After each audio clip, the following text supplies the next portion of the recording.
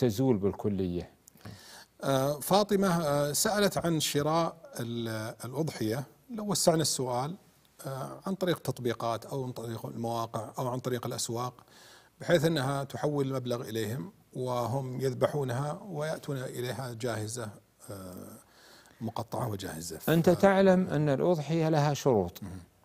منها مثلا أن تكون سليمة من العيوب ومنها أن تبلغ السن المعتبر. ومن تلك ال- الشروط أيضا أن يكون الذابح أهلا للذبح. إلى غير ذلك من الشروط. فإذا كان الإنسان يثق في هؤلاء القائمين على هذا المشروع أو هذه الجمعية أنهم سيراعون الشروط وظاهر أحوالهم الصحة والسلامة فلا حرج في مثل ذلك. مع كون أن الإنسان يضحي بنفسه ويذبح أضحيته بنفسه أولى وأحسن. لكن ذلك ليس على سبيل الوجوب.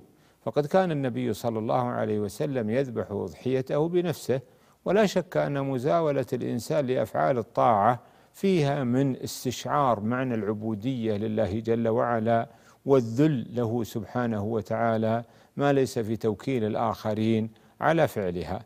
لكن لو وكل الإنسان من يثق فيه فلا حرج عليه سواء كانت جمعية أو مؤسسة أو نحو ذلك خصوصا أنهم سيبعثون هذا اللحم وسيعيدونه إليهم وبالتالي سيشعرون بمعنى العيد من خلال وصول هذا اللحم لهم وتمكنهم من توزيعه ومن الصدقة به ومن الأكل منه.